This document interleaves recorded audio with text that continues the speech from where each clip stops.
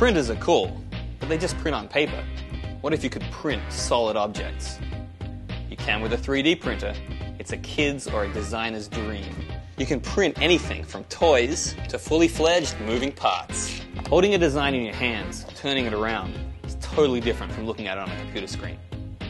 So we can actually send 3D models from our computer to our Z-Corp printer and make them real. After the Z printer has received the 3D model from my computer, gets to work, building it up layer by layer by layer, just like a cake. Mmm, sweet sugar frosting. I have to get all that off before we can make it strong. Fear is the mind killer. Ah! It burns! Just kidding. It looks messy, but it's actually really cool because all of this powder gets sucked back into the machine and recycled to make another part. And here it is. It's got color, got form, it's got complexity.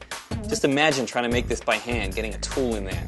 There's one thing it doesn't have yet strength. That's why we need to infiltrate it.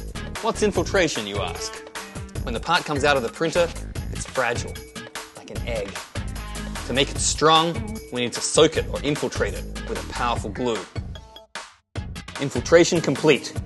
Now it's strong. So strong, I could even stand on this without breaking it. Let's give it a shot. Final strength test.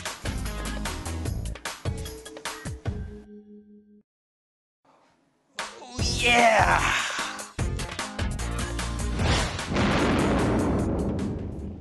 The sharpest tool in the lair doesn't even have a blade. It cuts with a beam of light. This is one of my favorite tools. It's a universal laser cutter. It's a 50 watt carbon dioxide laser on an XY platform.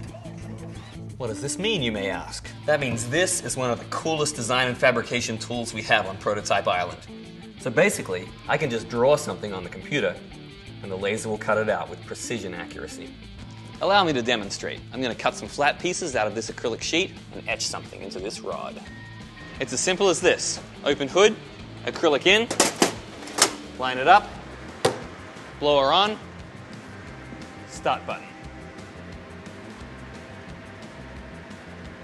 And it's done. Ah. Grilled to perfection.